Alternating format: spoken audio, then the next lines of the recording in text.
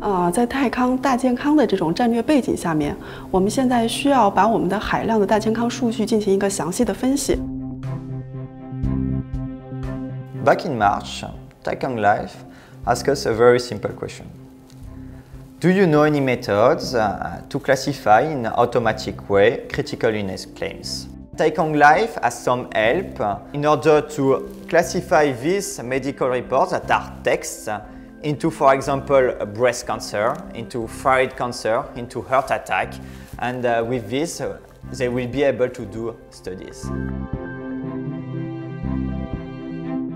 那么在这整个呃合作的过程中呢，嗯，高效高质的以客户为中心的服务，是我们对法再的最大的印象。我们希望能够有进一步的合作。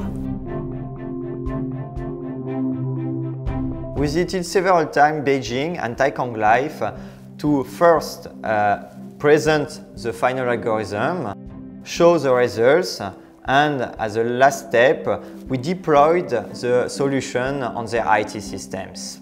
We are still having a lot of discussions between SCOR and Taikang Life to ensure that Taikang Life fully masters the solution, so from the natural language processing to the machine algorithm, because in the end, this is what we want. We want Taikang Life to be able to manage all the steps by themselves.